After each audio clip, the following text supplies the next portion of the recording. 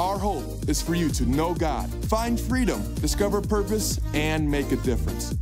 After the service, begin that process by connecting with a leader and joining one of our many small groups or teams. But for now, sit back and enjoy this message. Make some noise, everybody. You made it to church. What is up, Substance? If we haven't met yet, I'm Pastor Peter Haas, and I'm, I'm just so blessed you guys are here today. I, we're gonna have some fun. Like we always do at Substance, we just like to keep things lighthearted and exciting because I, I, I, ultimately believe that the, the, the joy of the Lord is our strength. And if you don't have joy today, then we're to we're gonna get you there by the end of the service. And of course, before we dive into the message, I, I want to share a little bit of a backstory. Many of you guys know that uh, my wife and I have always been very passionate about uh, missions uh, just sharing Christ overseas and helping build God's church over in places where, uh, in, in countries that might be a little hostile. In fact, actually, uh, my, my wife and I never even imagined that we would actually stay in the United States. We always imagined uh, that we were going to be moving overseas somewhere. And, and I, I, I, even gearing up for that, I remember even uh, a long time ago, my wife and I would, would take different countries and we'd spend a summer in each country just trying to get a, a sense of what God was doing around the world. And uh, from, I, I, spent a summer in Thailand, I spent a summer in Ghana, West Africa, and I, I'll never forget when I was in, in West Africa, uh, you know, we'd be out sharing Christ in some of these really remote villages. And, and some of these villages were so remote, it was a very, very hostile place if you had any sort of medical issue because there's no hospitals anywhere. I mean, you're talking about, you know, a four hour bumpy ride on a, on a terrible, unfinished gravel road uh, just to get basic needs. And so you'd meet all these, these people in some of these villages that had the smallest things that we would totally take care of here in the States would be lethal over there. I mean, people would die from the, the silliest things in, in, in, a lot of these villages. And, and, and sure enough, we were sharing Christ in, in one of these villages. And so, like, over there, like, the, the whole idea of Christ as the healer was just was, was way more profound than here in the United States, where always we trust doctors to heal. We don't really, you know what I'm saying? It's not quite as desperate as it is over there. And of course, uh, right after we had just shared Christ in this one village, a woman came up. She was she actually was blind. She couldn't find us, but her sister led her up to us. And this this this girl said, "I really believe that your God can heal me. Would you pray for me that He would heal me right here?" And I, I remember in that moment, okay, I was kind of a younger believer and I'd never really seen an undeniable miracle. You know what I'm saying? Like I, I had prayed for people, you know, like, you know, your friend who's got a cold and you pray for them and then five days later they're healed. I had seen those kinds of miracles where you're like, oh, okay, the miracle was you got through a cold. You know what I'm saying? But like, I, I just, I'd never actually seen an undeniable miracle. And when this lady came up to me, to be honest, I was terrified. I don't know what, how else to describe it. I was all of a sudden terrified, like, oh no, like, this is a real person with a real need who is new to this whole thing. What if I pray for her and God doesn't heal her? You know what I'm saying? Like this thought, like terrified me. Like what? What would ha- uh, like like could it wreck God's reputation that we're even talking about healing? And in my head, I'm like, well, Jesus healed people, and yet you know, it, like, and, and, again, I'm a chronic overthinker. I don't know if anybody else has is an overthinker, but this is just like in that moment, I was so terrified. And, and I, the girl who I was with, she was just a, you know, young woman of faith. She's like, let's do it, man. Let's, let's pray for healing. And I'm like, oh, should we be doing this? You know, like, and so we're praying for this lady, and sure enough, God healed her on the spot. She started shrieking, freaking out. She got her sight back. I'd never seen a biblical miracle like this. I was more terrified than she was, okay? I was more surprised than she was, and yet I was supposed to be the guy sharing the gospel. And I, I, remember, like, you know, like after that happened, all of a sudden, like my faith got all pumped up, and it was like, yeah, let's pray for people, let's pray. You know, like then I was all pumped, like, I'm never gonna doubt God again. And, then, and you know what's funny about faith is it's like leaky fuel. It's not something you get once and then, you know, you just filled your car up with gas and you can just drive forever. You know what I'm saying? You, you, faith is like, it, it eventually leaks out. And, and, sure enough, over a year or two later, worry started creeping in, doubt started creeping in, and I started thinking, I started getting afraid to pray for people again. What if they don't get healed? What happened? Because I hadn't worked through things theologically.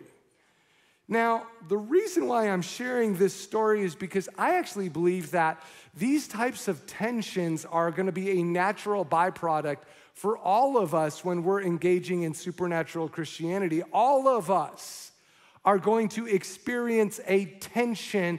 In theology, they call it the already but not yet. In other words, in heaven, we're going to have the fullness of the kingdom. Right now, we're just getting little deposits, okay? So it, it feels like it's kind of off and on, like why God heals this person but not that person. And, and you see this even in the Gospels, like the Apostle Paul, who raised people from the dead, he also said, I, Trophimus, I left sick in Miletus.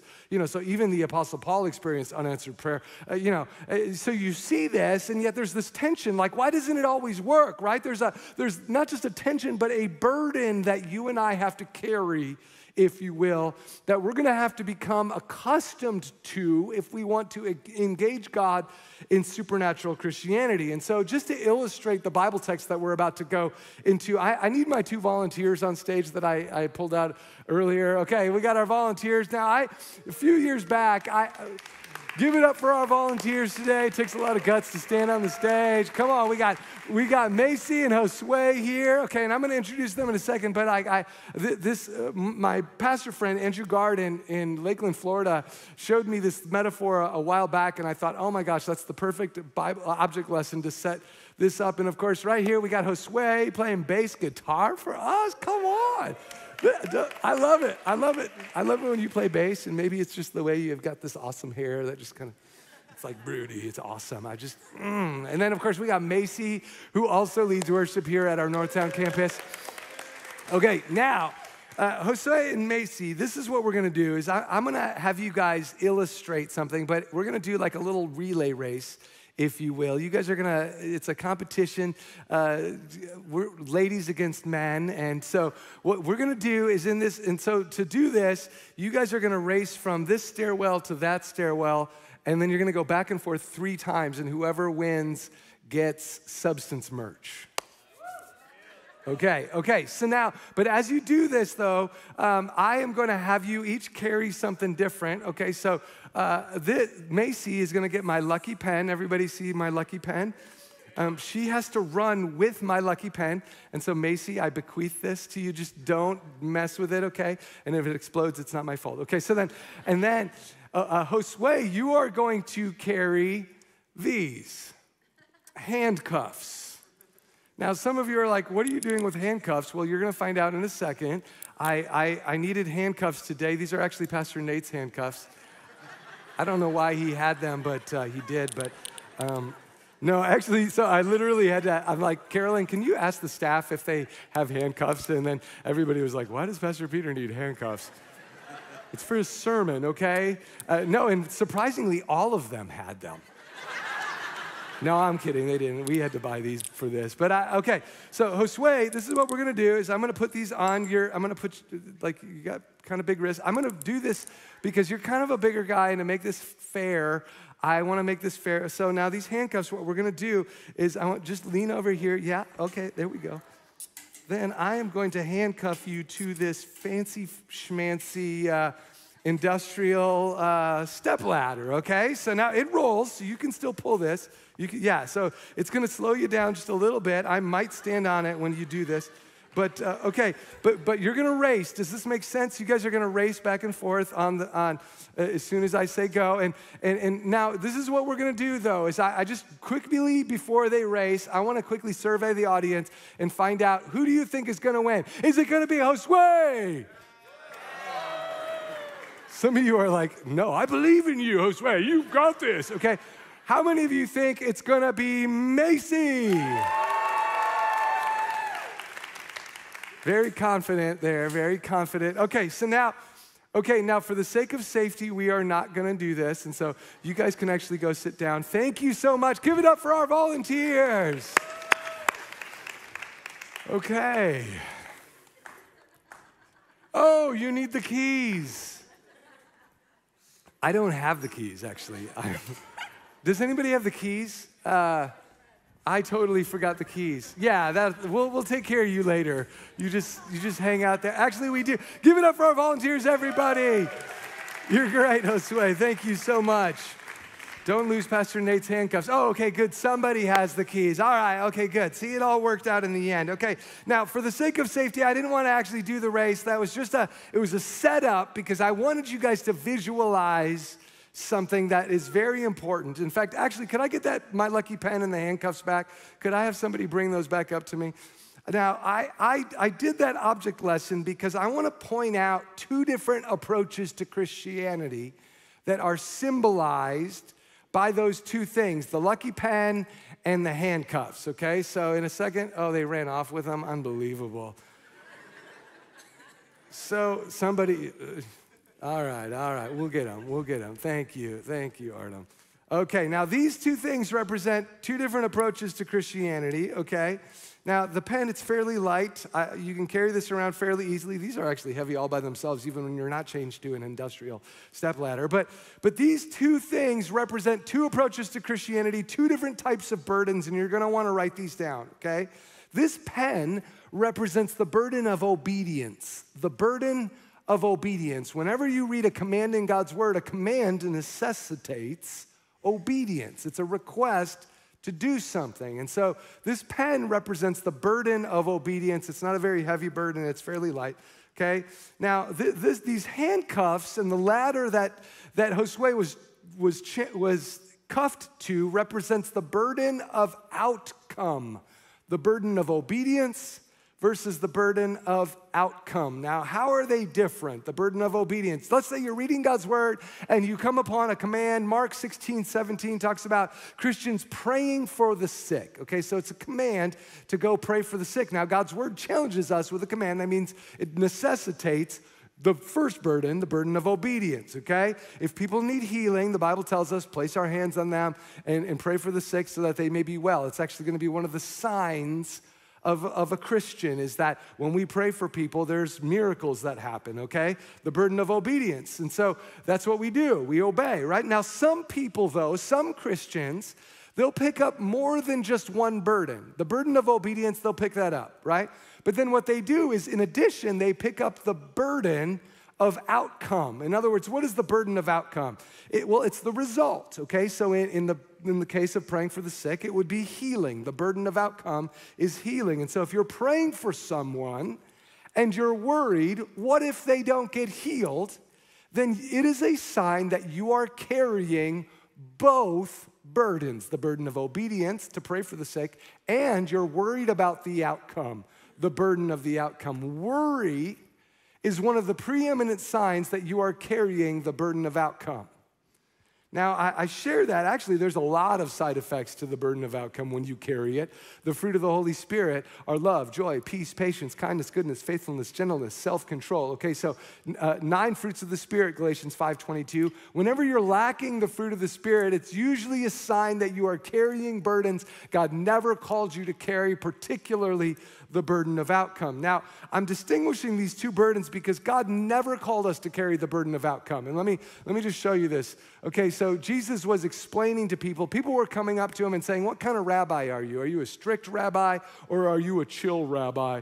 And so Jesus goes to explain what's called a rabbi's yoke. And if you don't know what a rabbi's yoke, you, many of you guys might know like the ancient, like you'd yoke oxen and then you'd have the plow and it was like how you did farming, right? Well, okay, th- there was also something called a rabbi's yoke. When you'd take the yoke of a rabbi, when you'd follow a particular rabbi, all of them had a, a list of teachings that they would agree with, like a list of do's and don'ts for lack of a better expression. So a rabbi's yoke is a list of do's and don'ts. What, are you a strict rabbi? It means you have a heavy yoke. Or are you a chill rabbi? You have a light yoke. And Jesus is, is explaining the way he approaches the Father. And he says this you want to know who I am? You want to know what it is to follow me? Come to me, all you who are weary and burdened, and I will give you rest. I'm the kind of rabbi, when you follow, you feel rest, you feel peace, you feel chill, okay?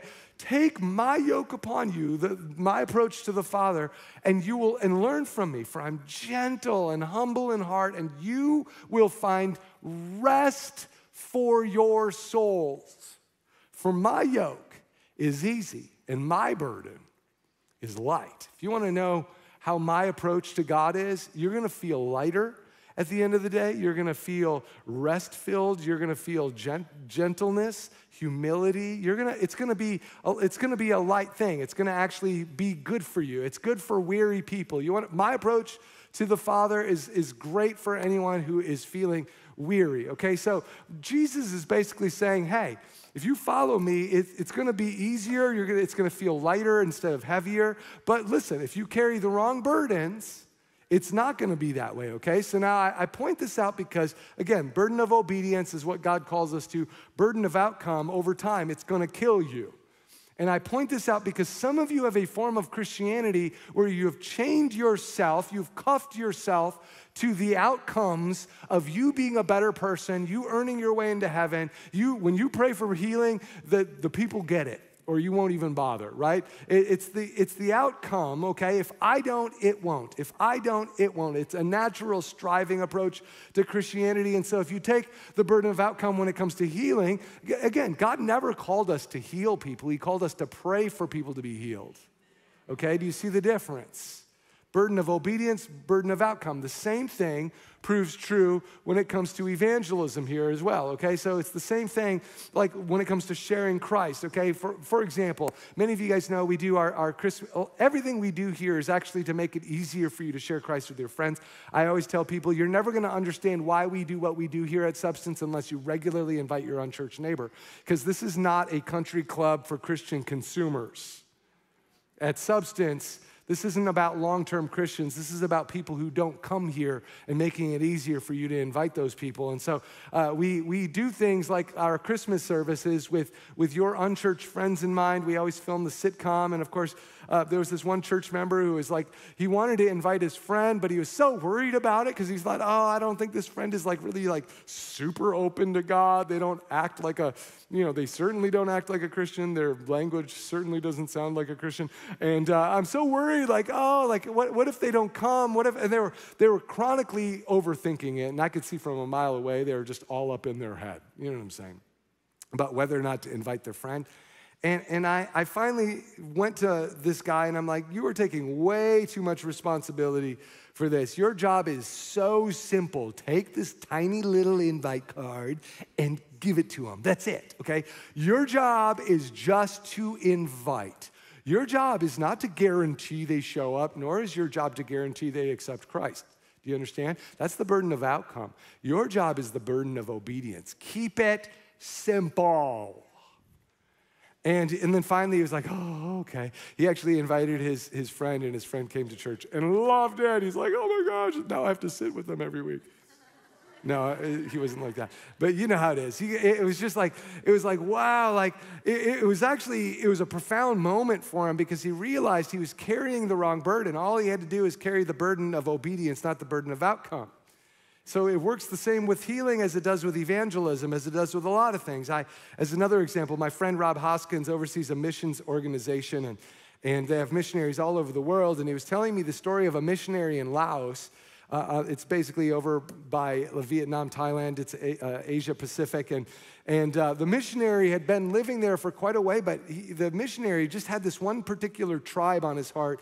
And this tribe was a remote tribe, way up in the mountains, very hard to access, uh, to get access to, even in Laos, okay? I mean, it was like a three uh, day horseback ride up into the mountains, okay? So, not easy to access these tribes that lived up there. And, and of course, the circumstances always conspired against this missionary from, from getting up there to share Christ with this tribe. Well, all of a sudden, to make matters worse, war started breaking out between France and some Laotian insurgents. And so, um, you know, all the Westerners were basically being required by the State Department to leave the country, things like that. And of course, the missionary was one of those high risk people that had to leave. And, and it was just, it, it was really frustrating for the missionary because they, he didn't have enough time to get up there and share with this tribe. Well, right as he was packing and he was getting ready to leave, he all of a sudden happened to run into some people on his very street that happened to be visiting from that tribe that he always wanted to share Christ with. And he's like, oh my gosh, you're from that tribe? Would you guys,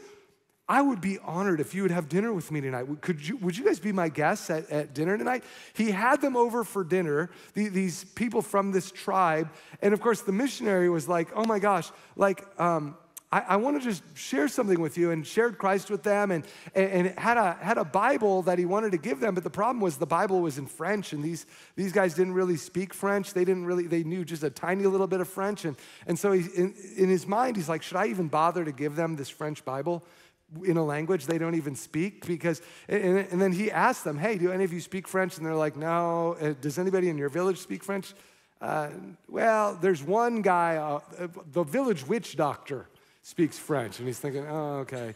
Um, you know he's thinking is it even worth it to give them this bible? Is this like a useless gift? And then the missionary finally thought well hey Anything is better than nothing. Some God's word is better than no God's word, even if it's in a language they don't have. And, you know, it's not like the witch doctor is going to help translate the Bible, right? But uh, uh, I'm leaving the country and I may never come back. And so he, he just I just wanted to give you a gift. He gave them this Bible. They were really honored by the gift. And, and, and, and then, sure enough, war broke out. The missionary had to leave the country.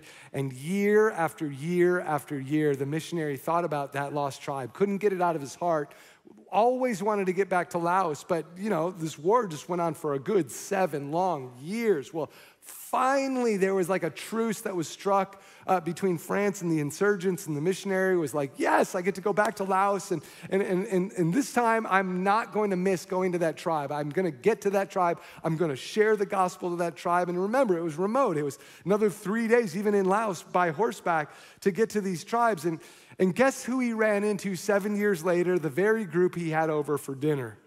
And guess what they did with their French Bible?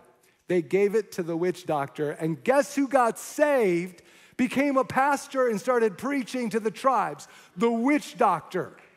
And get this, just hold on, get this. By the end of the war, there were over 748 Christians who were led to Christ by that witch doctor, who in turn went and preached the gospel in 11 different tribes. Talk about a revival because of a silly little act giving someone a Bible. Now, I, I just, I share that because it just demonstrates the power of the outcome versus the power of obedience. Just learning how to, the little things. I think you and I, we sweat over the outcome and we don't do the little things. Let me tell you something, church. Don't worry about the burden of outcome. Let God worry about that. He, in fact, He loves to carry the burden of outcome because ultimately He wants to get the glory from it. He doesn't want you to get the glory from it. Oh, I led a tribe to Christ. Look at me. You know what I'm saying? Like, ultimately, God wants to get the glory. That's why the Bible says in 1 Peter 4, 4 11, if anyone serves, he should do it with the strength God provides so that in all things God may receive praise. Actually, a lot of the reason why we pick up the burden of outcome is because we're using Christianity to prop up our self esteems. You know what I'm saying? We actually read our Bibles not because we want to grow closer to the Lord, but because we want to feel good about ourselves. I helped a granny cross the road. I prayed for a half hour today. I am a super Christian. I'm just awesome, aren't I? And listen, the, the, the goal of Christianity is not to increase your self esteem. Actually, it's to increase your God esteem. Okay? It's to think about you less and to think about God more. Christ in you is your hope of glory. Actually, it's not about you at all. That's why Christ had to come in the first place. You get the idea here. You see, uh, but here's the problem is that we use Christianity as a crutch to prop up our self-esteem. And then when it's not working, when we don't get the leadership opportunities and when we can't make ourselves feel all this and all that, then all of a sudden we just, then we start getting dejected. You know what I'm saying? It's, it's kind of like, uh, it's like NFL quarterbacks. You get all the credit or all the blame, and neither is good for you, right?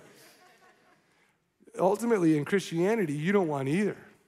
You don't want to take credit for the blame or the, or the good stuff. You just want to take steps of obedience, obedience, obedience, baby steps. And then watch God do what he does. And ultimately, then you can point to heaven. See, uh, see that, that's how God designed all of this to work. And, but for many of us, we don't even do the little things because we preemptively decided there's no use in even doing that. Why should I even try to get rid of an addiction? I'm always going to be addicted. Why should I give someone a French Bible? They don't even speak French. You know what I'm saying? We preemptively decide for God what he can and cannot do. We carry the burden of outcome, and therefore we don't even do the little steps of obedience that God can, that we could totally do. And I, I just, the reason why I'm saying this is because I believe that God is calling all of us to do little things, and yet we're, we're getting all up in our head. You're like, should I invite your neighbor? Yes, invite your neighbor. Just pray for the person's healing. Don't worry about the outcome. Just read your Bible for two minutes a day. Remember last week, I'm like, uh, I, I, just said, if you want to get a Bible addiction, all you got to do is read your Bible for two minutes a day for two months, okay? You got to establish the habit and then improve on the habit. And, and, and every time I share that, somebody comes up to me, Pastor Peter, come on. How am I supposed to get anything out of it? Two minutes a day. You even said set your timer, okay? How am I supposed to get anything out of two minutes a day? Don't worry about it. Chill. Some of y'all are so uptight. Man, like just relax. His yoke is easy and his burden is light. You just do the little thing, just two minutes. My goodness, you're overthinking it all because you're carrying the wrong burden. And, and church, here's why this is so important. If you don't understand this, it's going to kill your walk with God. I'm promising you. It will kill your walk with God. It might, you might be able to prop up your self esteem for a little bit, but eventually it's going to become a burden and it's going to turn into striving. And then you're going to all of a sudden someday say, I don't know if Christianity is really helpful. And you'll become one of those uh, ex Christians who never actually had Christianity. You had dead religion, is what you had. And, and some of you, I actually think that you're experiencing a mediocre version of Christianity carrying the wrong burdens. And I, I just, for example, okay, like let's go back to this whole topic of healing because I really want you to understand this. Now, this last week at our first Wednesday service, I talked about why, I talked about this issue of divine healing. Why doesn't God heal everyone, right? Like I, you hear me share these miracle stories, um, you know, and, and maybe you've even heard of people in our church who've had miracles, but then I think we've also had people that we prayed for that didn't get healed. So what's up with that? Like how do we how do we deal with that tension? Well, of course, what I did this last Wednesday is I went through a whole bunch of reasons why people don't always get healed according to the Bible. Okay? So the Bible actually says sometimes the delay in our healing happens because of spiritual warfare. There's angels and demons doing battle and it takes a while. Sometimes there's delays because of that. Daniel 10. Sometimes our faith can actually put a limit on healing. We saw that in Mark 6. We, we talked about how sometimes God, it isn't even about our faith or even about spiritual warfare. It's that God is actually drawing us to Himself. He knows that if He just answered your prayer, you're never going to have intimacy with Him, which is ultimately what He wants. It's more important than your healing because it's the thing that causes all healing throughout the whole rest of your life intimacy. Or sometimes, actually, it has nothing to do with you. God just is timing something in such a cool, glorious way and at the proper time, all of your friends and family are going to be able to say, dang, that's cool. God showed up in your life. God was timing his glory for a greater good. My point, and even sharing all of that, is that there's a million things can, that can affect the outcome, which is partially why God said, don't worry about it, forget about it. You know what I mean? Don't, don't handcuff yourself to things that you can't control anyway, that you were never designed to control. Because that's really the crux of this issue, is it's a control issue. Now, a lot of people, they want to control things in their lives for various reasons. We all have different motives. Some of us, it's our, our, our, our need, obsessive need for security. Others, it's our, our low self-esteem. We just, uh, let me give you another example. A while back, somebody was experimenting with uh, the, the Bible's commands on tithes and first fruits. And if you don't know what tithes are, basically there's a, there's a ritual where God says, hey, trust me with, give me 10% of your income and I'll take your 90% of your income, stretch it far greater than ever, you would have ever had had you used 100% of your income. So it's all about putting God first in your income and then God blessing your finances. Now, um, so this guy was coming up to me and uh, he was just, re- he, he felt like the Lord was calling him to do it, but he was scared to do it. And so he was nervous. And he, he asked me this question. He's like, Pastor Peter, what if I obey and the 90% doesn't cover my bills? Like, are you gonna, are you gonna bail me out if I do this? You know, like he, he was all nervous about this and just like, I mean, way overthinking it. And I, he was wrestling with the question ultimately, what if I obey and the outcome doesn't happen? Okay? Well, in that moment, I was listening to him, and of course, just, you know, he was so emotional about it. And I get it. You know, there's certain things, steps of faith that can be kind of scary. That was scary for me too when I first started trying it. But I, I remember in that moment, I finally felt like the Lord wanted me to kind of flip his question around. Instead of saying, What if it doesn't work? I'm like, uh, I flipped it upside down and I'm like, Well, wait, think about this for a second. What if it does work? What if it actually does work? What if God actually fulfilled his promise? In Proverbs 3 9 and 10, your barns will be filled to overflowing and your vats will brim over with new wine. In other words, your bank account is suddenly going to start flowing in a way you never saw. What if that happens? That's what you need to be thinking about in this season, not what if it doesn't happen. You need to be thinking about what if it does happen. And, and finally, you know, we talked about it a little while longer, and, and, and I finally told him this. Well, here's one thing I know for sure. If you and I do nothing, guess what will happen? Nothing. It's a guarantee, it's a self fulfilled prophecy. I would rather be wrong trying to obey God than be wrong doing nothing. I would rather pray for a hundred people and get one person miraculously healed than pray for nobody and see no miracles. You hear what I'm saying? At the end of the day, the, the Bible says that in this world you're going to have trials. There's going to be unanswered prayer. And until we get to heaven, that, that's where things are going to be perfect. That's where everything is going to happen exactly like we expect. But, but in here, we're living in what we call the transition of the ages, the already but not yet. The promises are being, the, the kingdom of heaven is currently breaking out on planet Earth, and we're just laying hold of it. We're getting the deposit of the age to come by the power of the Holy Spirit, is what the Bible teaches. So we're not always going to get what we want on the timeline that we want it. God never is done everything I've wanted in the timeline that I wanted, but in the end, it's better, right? So at the, end, at the, at the end of the day, we obey. We're not worried about the outcome. It's a control issue. Will you surrender control? And I share this because if you're out there today and you're weary, then you got to understand you've, you've contracted a counterfeit form of Christianity and it's sucking the life out of you. Somebody handcuffed you to a burden. Either you did it to yourself, or maybe you, you went to one of those delightful legalistic churches where they use something called guilt and shame to motivate people. Okay, guilt and shame are a great motivator, I'm not gonna lie. People, some of you are like, that's my whole family. This is how we do everything. You know what I'm saying? We just, we give guilt trips to each other, right? Well, okay, guilt may be a motivator, but it's not the motivator that Jesus used. Grace is what teaches us to say no to ungodliness, Titus 2 says, not shame and condemnation. We don't ever have to guilt people with shame. That, that's, that's counterfeit Christianity. You, you understand that, right? That, that there is therefore now no condemnation for those who are in Christ Jesus. A lot of people embraced a form of Christianity that just sucked the life out. And, and, and that's the whole point. That's the whole point. You realize that, right? You aren't good enough. You are not qualified to carry the burden of outcome. That is what your sin nature tells you. But, but God's word says you couldn't do it. That's why He had to send His Son to die in your place and carry that for you. And, and yet, so many people, they're like, no, no, no, no, no. I need this. I need this. And uh, I don't want to do this and lock myself in accidentally because I don't have the key for real. But I, I just, you know, but you're like, I, I need this. I, I need to lock myself. You, you don't understand. I need to do this. And, and so, what you're doing is you're locking yourself to this giant burden and you're walking around with it, right? I mean, you're sleeping with this giant thing in your bed. You're taking it to restaurants. You're bathing with a giant industrial ladder, this burden of outcome. You're going on dates with it. Dude, you are weird. And yet, you think it's the very thing that makes you righteous and capable of worshiping today.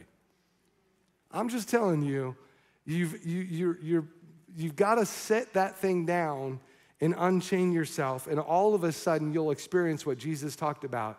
Come unto me, all you who are weary and heavy laden, and I will give you rest. God's just wanting you to do baby steps that set things into motion. As one last example of this, I, I remember. Um, so, okay, so my, the first church that I took over uh, went through a, a, pretty significant crisis. I, I, took over the church in a crisis. And in the process of doing that, I, I, I realized that the church governance was pretty screwed up. And so, uh, one of my goals was to, to really learn about church governance. And after I had planted, I was kind of a little bit of a nerd about it. I know that some of you are like, church governance, what does that even mean? Well, every church has a, has a set of bylaws to it where they kind of dictate how the church makes decisions. And and uh, over the years, I ended up getting called in to help mediate a lot of different church splits. And one of the things that I noticed over the years is, is after, after mediating maybe like a half dozen church splits, I started noticing that there's a common denominator between all of these splits. And almost all of these church splits, these disasters where the church churches imploded, um, almost all of them had the same bad forms of church governance, where they just had too many votes on two highly subjective things, and all of a sudden it caused good people to behave badly, and then next thing you know, everybody is trying to deliver the church from the other. You know what I'm saying? And uh, I, I, I started coming, I started realizing in those days that, that church governments are kind of like world governments, they all have pros and cons to them. You know what I'm saying? And, and so I started diving into the research and I was shocked that, that almost all growing churches in the United States that are effective in reaching unchurched people have the same form of church governance. I was shocked when I started seeing the data over 400,000 churches. And then, and then I started seeing all these correlations between there's only one type of church that tends to grow uh, after the founding pastor resigns, and it has to be this form of church governance. And it was so it was so profound when I saw the data. I'm like, oh my gosh, this is like, it altered the way that I saw church. In fact, even to this day, I would never go to a church unless I understood it had a certain type of church governance. Otherwise, it wouldn't even be worth the investment in my mind because it's not going to be around in 15 years. And I, I just, I finally, I felt like the Lord was like, Peter, you got to write the book on this. You got to write a book on this. And, and um, I remember, so I started writing a book on this, and I remember as I was writing this thinking, this is the worst nerdy book ever. Nobody's gonna read this. Like, nobody. Like, I mean, talk about a boring subject. Who, who in their life is thinking, you know what I really need to learn about? Church governance theory. You know what I'm saying? And I, I, I literally started arguing with the Lord about this. This is a waste of time. You know, even more than that, I, I kept thinking about even publishing it, and I'm like, there's no market for this. I mean, first off, uh, 99% of all people, they're not senior pastors or board members. So, what good is the book going to do? They can't even change it. And even the pastors that are, uh, you know, even the people that are senior pastors, that most of them can't change their church governance because they they belong to a denomination that dictates this is how you got to do it. This is how we've always done it. You know what I'm saying? Like, I, I just so in my mind, I started arguing with God. I don't know if you've ever done this, but you start informing God of why He hasn't thought things through. You know what I'm saying? Have you ever done that? Like, God, I'm not sure you've been like, you know, you know God is calling you to do something, and yet you're like, God, I don't, I don't think, I think you need like a you need someone to sit down with you, Lord, and explain to you why this can't work, right? And I, I was explaining to the Lord that no book publisher is ever going to pick this up because it's too specific. There's no money to make off of it. It's a nerdy academic book, right? Like, I, I started thinking, um, you know, it, it's, it's also not even an exciting topic. It's, it's just most people, they just, anyway, I finally felt like, okay, I got to still do it. So I, I wrote it, and, um, and I, I, when I finished, I didn't even know what to do with it, right? Because it's not like, you know, even different publishers were like, yeah, no, we're, we're looking for broad market books that are read by women. You know what I'm saying? Like, which is like 90% of all books, right? But I, I just, I, I, I was like, okay, okay. I wrote a blog on it, put it on my website, saved it as like a digital PDF, right? And of course, sure enough, nothing happened year after year after year. It was just kind of one of those blogs I wrote that had a little extra long blog put in it, right? You know what I'm saying? A whole book worth, right? And, and uh, I, I, all of a sudden, what, what happened was is I, I was preaching at these different conferences, and all of a sudden, out of nowhere, I don't even know what happened, but somehow somebody got a hold of this book and started sharing it with people because all of a sudden, out of nowhere, pastors would come up to me and like, oh, you're the pastor who wrote that book. And I'd be like, Pharisectomy, the comedy book? No, you wrote another book? What do you mean? No, the governance book. The, and I'm like, where did you get it? Like, it's not even in stores. You know, like, in my mind, I'd be like scratching my head. And yet, everywhere I would go, people would, person after person, like, oh my gosh, that church governance book, that's like altering my church right now. And then I, I literally was speaking at a, at a pastor's conference in Amsterdam, of all places, and a French pastor came up to me and said, oh my gosh, your book is just altering my life. And I'm like, pharisectomy? Broken escalators? No, your governance book. And I'm like, where are people even getting this? Like, it's got to be like 900 blogs buried in the back. I don't even know. Like, and, I'm like, no, it's like amazing. Like, you, you have to keep promoting that. That's like altering our church. And, and I, I remember like kind of scratching my head. I, to this day, I don't even know how it went viral. I finally went on my website and I started realizing how many downloads it had. I was shocked. I was shocked. And I, I just, you know, the whole thing was an experience for me between carrying the burden of obedience and the burden of outcome. I, I basically preemptively told God it's the dumbest idea ever because I was doing God's job.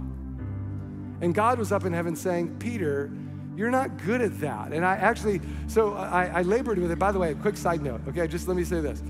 I, I, just this last year I ended up rewriting the book with a little more humor and a little more broad market. A happy church governance. It's like happy now. So like maybe four more people will want to buy it. But like I just thought, you know, no. But seriously, I, I bring that up because uh, one of the things that we're doing this year at Substance is we're finally launching Substance Publishing, which is something that we've been talking about forever. And uh, I really believe that uh, there's going to be a lot of you who are going to be authors. God's going to call uh, not just not just artists, but authors. We're going to have a lot of books come out of this church, and so we, we started a, a, a, publishing company, and and so this is going to be actually the first one that we're going to do with it. But I, I here, here's the reason why I brought that up is because I, I wanted you to understand the difference between obedience and outcome because because ultimately, I believe God is calling some of you to do certain things and you're scared to do it. But here's what the Bible says 1 Corinthians 3 7, last verse. So neither he who plants nor he who waters is anything, but only God who makes things grow. Don't overestimate your role in this divine equation, church. Don't overestimate your role. Just be faithful. And I, I'm saying that because I believe that there's some of you here today who God is calling you to pray for somebody who's sick, and yet you're scared to do it. God is calling you to invite someone to church and you're scared to do it. God is calling you to take a step of obedience. Maybe it's in tithing, maybe it's in sexual purity, maybe it's in fill in the blank, and yet you're so worried about the outcome that you're not taking the first step. And God is saying to you, Would you please let go and let me do what I do? And in that moment, you're all of a sudden going to apprehend the kingdom, the divine exchange, the real power that God has for you.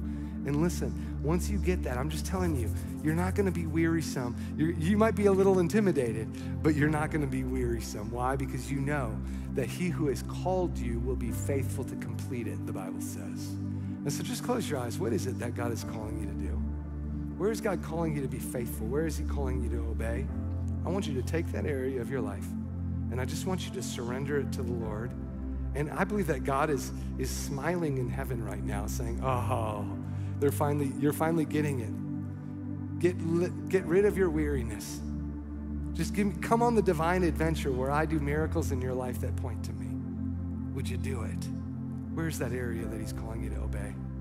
Father, you see all the lives represented here and all the different things you've called us to accomplish. I pray that we would be a people that doesn't use Christianity to glorify ourselves or that doesn't use Christianity to to, for any other purpose but glorifying you. I pray that you'd create a story out of all of our lives that is so magnificent that people, when they hear that story, they would not be able to help but to smile when they think of us.